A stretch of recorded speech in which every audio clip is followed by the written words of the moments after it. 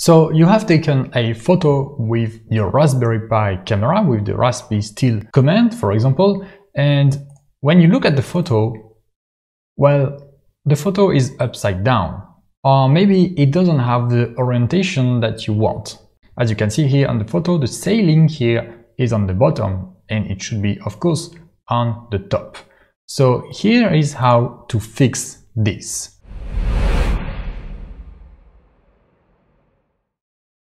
So there are two ways to fix this, which are slightly different. First, you can do what is called a vertical flip.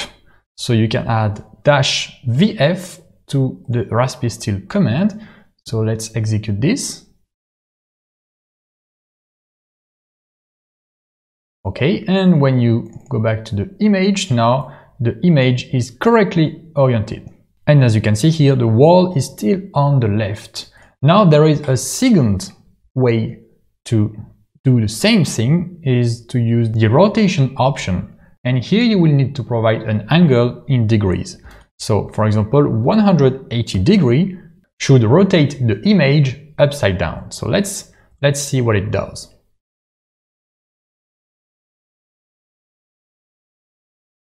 Okay, if I go back to the image now, you can see the image is also correctly orientated, but now the wall is on the right. So what is the difference between those two options here? So if you put the image back how it was before, this is the original image without any argument. You can see the wall is on the left. Now the rotation 180 degrees will simply do this, it will rotate the image and so now the wall, of course, will be on the right and not on the left. When you do a vertical flip, what will happen is that the image will be basically mirrored. Okay, so you draw a line here in the middle and you can make a mirror of the image. So the wall will still be on the left with vertical flip. Now, if you want to get the same result with those two commands, Let's go back to vertical flip. You can also add an horizontal flip with HF for horizontal flip. Let's try this.